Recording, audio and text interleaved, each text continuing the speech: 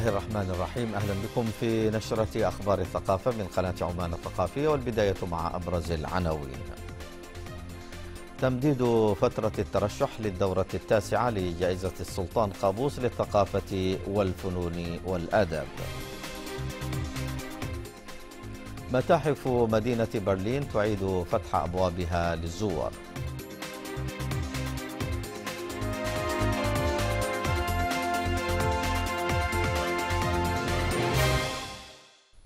طابت أوقاتكم. أهلا بكم إلى تفاصيل النشرة الثقافية. أعلن مركز السلطان قابوس العالي للثقافة والعلوم عن تمديد فترة الترشح للدورة التاسعة لجائزة السلطان قابوس للثقافة والفنون والآداب.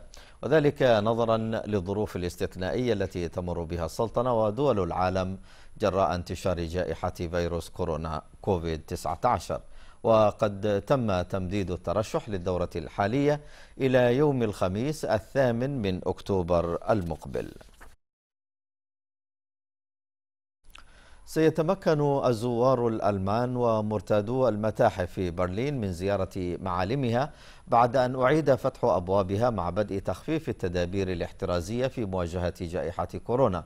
وفرضت إدارة المتاحف في برلين اشتراطات صحية يتقيد بموجبها الزوار مقللة في الوقت ذاته من عدد الساعات المخصصة للزيارة.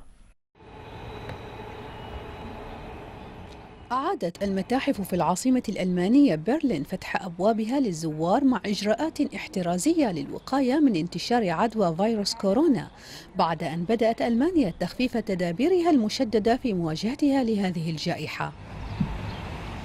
تشترط إدارات المتاحف على الزوار والموظفين إبقاء مسافة لا تقل عن متر ونصف بين بعضهم البعض إلى جانب ارتداء أغطية للفم ولا يشترط أن تكون كمامات طبية. فبالإمكان ارتداء أغطية مصنوعة من القماش كما تنصح بابتياع التذاكر عن طريق المواقع الإلكترونية عوضا عن شرائها من صندوق التذاكر بهدف التقليل من الاحتكاك بين الزوار والموظفين. وإلى أن يتم إيجاد لقاح أو علاج لوباء كورونا فإن المتاحف الألمانية ستسمح بدخول عدد محدود من الزوار في اليوم الواحد كما تم تقليل الساعات المخصصة للزيارة. شيئا فشيئا تعود الحياة إلى مدينة برلين الشهيرة بمتاحفها التي تجتمع في جزيرة خاصة. تعتبر ساحة ثقافية تقدم المعرفة الممزوجة بالترفيه بيد أن المطاعم والفنادق والمحلات التجارية الموجودة سواء في جزيرة المتاحف أو في جميع أنحاء ألمانيا سيتم إعادة فتحها في الأسابيع المقبلة مع متابعة مستمرة لمستويات الإصابة بفيروس كورونا. أخبار الثقافة مستمرة من قناة عمان الثقافية وتتابعون فيها بعد قليل. رسومات جدارية لفنان مغربي لنشر الوعي بفيروس كورونا.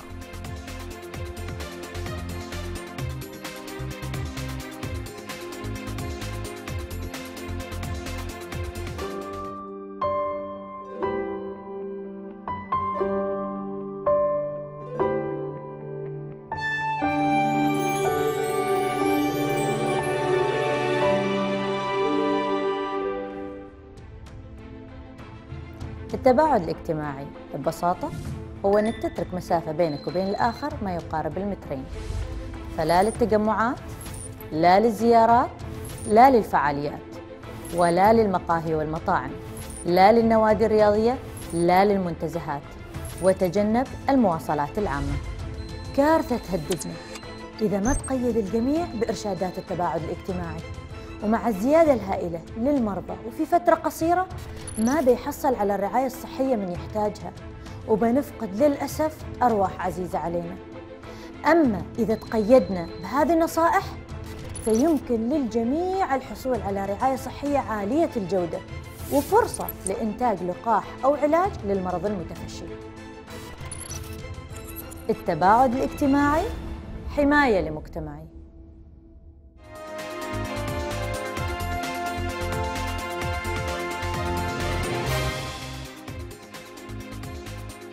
أهلا بكم من جديد. يتعاون فنان مغربي واتحاد محلي لتلوين جدار حي في مدينة سلا. يهدف العمل الفني لنشر الوعي بفيروس كورونا المستجد وتكريم أولئك الذين يسعون للحد من انتشاره. لطالما كان الفن الجرافيتي أو الرسم على الجدران الأسلوب التعبيري الأقرب إلى جميع شرائح المجتمع على اختلاف مستوياتهم.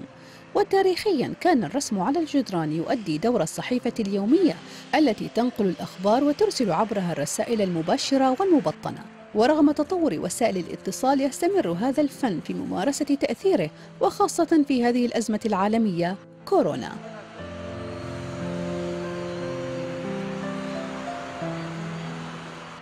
في حي الرحمة بمدينة سلا المغربية قدم الفنان حمزة كحيلي لوحات جدارية كبيرة بهدف رفع مستوى الوعي المجتمعي حول مخاطر فيروس كورونا. ولم ينسى الفنان أن يقدم شكره وثناءه للكوادر الطبية والعسكرية تقديرا للجهود الجبارة التي يبذلونها للحد من انتشار هذا الوباء.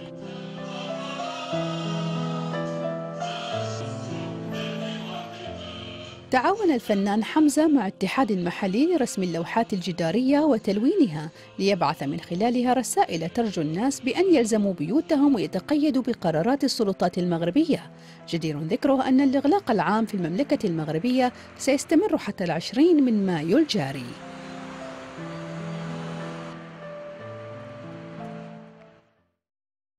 وعودة إلى ألمانيا حيث يمارس السكان هواياتهم بشكل حذر رغم رفع قيود الحظر والإغلاق. فقد شاهد المئات عرضا مسرحيا من داخل مركباتهم تجنبا لانتقال العدوى وحفاظا على مسافة الأمان بينهم.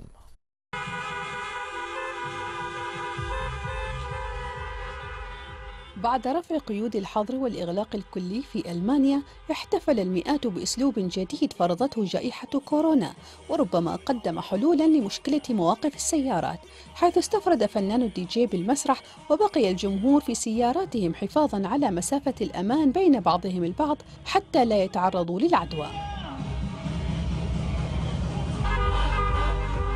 واشترطت السلطات الألمانية ألا يوجد في السيارة الواحدة أكثر من راكبين. حيث قام الحضور باستخدام العصي المضاءة بالليزر مع استخدام أضواء السيارات وأبواقها للتفاعل في هذه الاحتفالية التي أسعدتهم بعد فترة طويلة من العزل التام ومنع التجمعات والاحتفالات في ألمانيا. جميل الاحتفال في السيارة. تشعر أنك بين الناس ولكن لديك حفلتك الخاصة. أشعر بأريحية تامة فأنا لا أتعرض للاصطدام وهذا أبهجني أكثر مما كان عليه الوضع سابقاً.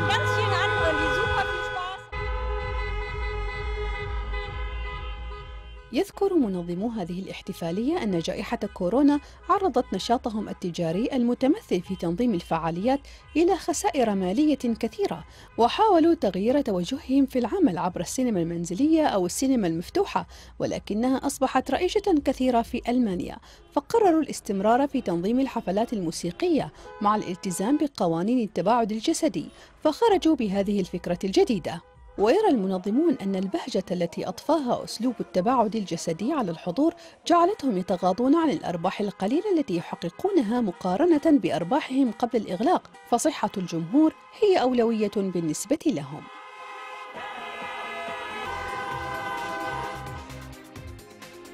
قبل ختام نشرتنا الثقافية هذه عادة لأبرز العناوين.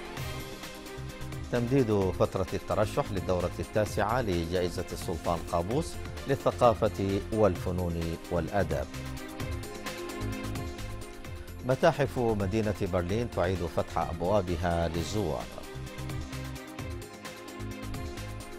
إلى أن نلتقيكم بإذن الله تعالى في جولة أخرى من أخبار الثقافة. شكرا لمتابعتكم مشاهدينا الكرام وإلى اللقاء.